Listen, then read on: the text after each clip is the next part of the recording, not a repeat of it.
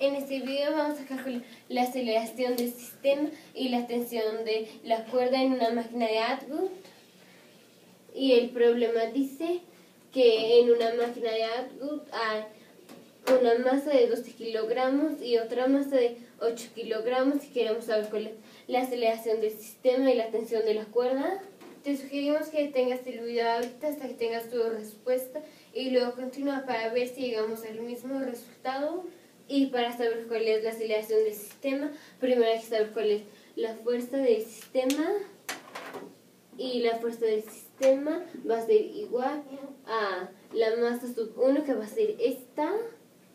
menos la masa sub 2, que es esta, por la aceleración de la gravedad. Y entonces la fuerza es igual a la masa 1, que son 8 kilogramos, menos 12 kilogramos, que es menos 4 kilogramos, por la aceleración de la gravedad, que es menos 10 metros sobre segundo a cuadrado aproximadamente, y es menos porque la aceleración de la gravedad va para abajo. Entonces la fuerza es igual a 40 newtons. Y para saber la aceleración en la fórmula, opción la segunda ley de Newton, que es que la fuerza es igual a la masa por la aceleración. Hay que despejar la aceleración y entonces va a ser la fuerza entre la masa va a ser igual a la aceleración.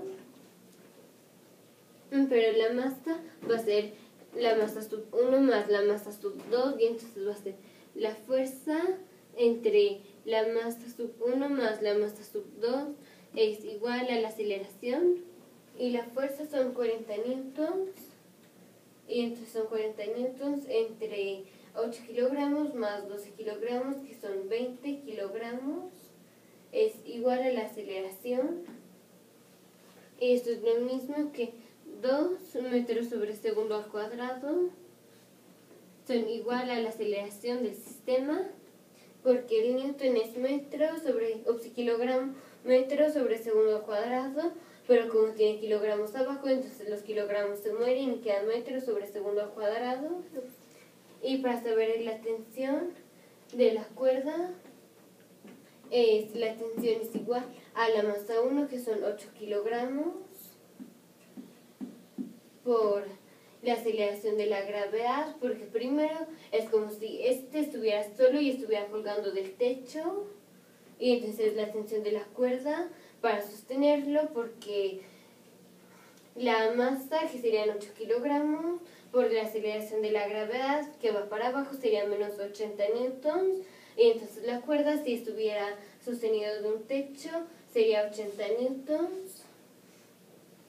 pero sería positivo, y entonces es por 10 metros sobre segundo al cuadrado más la,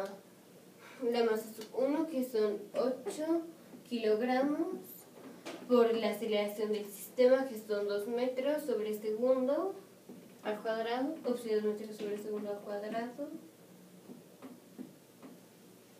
Y entonces la tensión de la cuerda es igual a 80 newtons más 16 newtons. Entonces la tensión de la cuerda es igual a 96 newtons. Y la, aceleración, la aceleración del sistema son 2 metros sobre segundo al cuadrado y la tensión de esta cuerda son 96 newtons.